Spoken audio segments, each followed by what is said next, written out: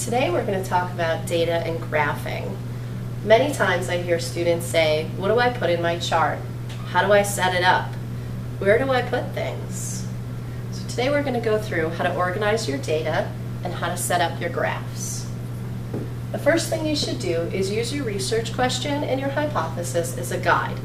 For an example, our problem could be how does heart rate change during exercise?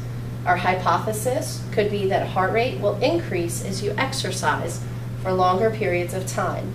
Our data clues here are heart rate and time.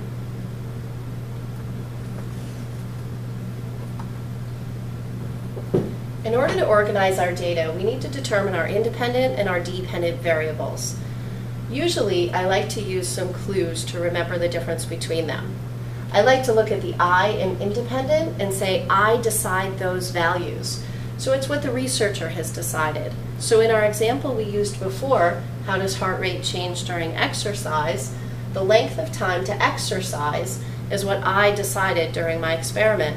I could change the length of time. I could make it an hour, I could make it five minutes, but I get to decide that data. We can also call this variable the manipulated variable. So the one question you might think to yourself is, how long do you want to set up the experiment for? You decide that before your experiment starts. The other variable is the dependent variable. I like to look at the D in the dependent variable. That's our data. That's our data we're recording during the experiment. You can also think, this is what I'm going to do during the experiment. This is the data I'm collecting. Some people like to call this the responding variable. In our example that we used for how heart rate changes during exercise, our heart rate would be the dependent variable. This is the one we don't know before the experiment starts. So as we fill out our data table, this is the one that's going to be blank. So this is going to be the data we're going to collect during our experiment. So once we know our independent and our dependent variables, we then need to come up with how we're going to set up our data table. You need a title, which in this case you can use your independent variable and your dependent variable. For example, the effective exercise time on heart rate. I'm going to use my independent variable, exercise time, and my dependent variable, heart rate. We also need to have some column headings for our table. I usually like to use the independent as the first column because I can fill this out ahead of time before the experiment starts. This is the one that I set. So time in seconds, in this case I went from 0 to 240 seconds. We usually like to record these in increasing order. Then again, it also depends on your experiment. My dependent variable is going to be the second column, and you may have extra columns depending on the number of trials that you run.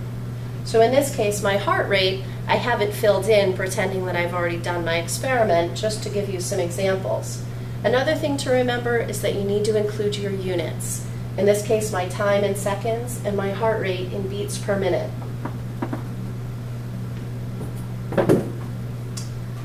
Once I have my data set up, I've done my experiment, and I've collected my data, we need to do a graph in order to organize the data and display it in a more meaningful way so that we can look for trends. When we set up our graph, this also needs a title, and you can use the same title that you used from your data table, the effective exercise on heart rate. I need to decide what's going to go on my y-axis and what's going to go on my x-axis. So my y-axis is going to be the dependent variable. So my y-axis is the one that goes up and down, and that's the dependent variable, the data that I'm collecting. So I have to have my data before I can set this graph up, so that I know the lowest number that I need to start with and the highest number. Don't forget that you need to label and include units. The scale needs to be evenly spaced on your graph. So if you look at this scale, if I started at 70, each box is worth 10 beats per minute. I go up 70, 80, 90, 100, 110, 120, and so on until I go up to the top. You don't have to label every box. You can skip boxes. It just has to be that every single box has to be worth the same amount. Don't use values from the data table blindly. What this means is if I decided that I needed to go from 70 to 240, I can't just use the numbers that were in my data table, like 75 and 86, because then my boxes wouldn't be evenly spaced.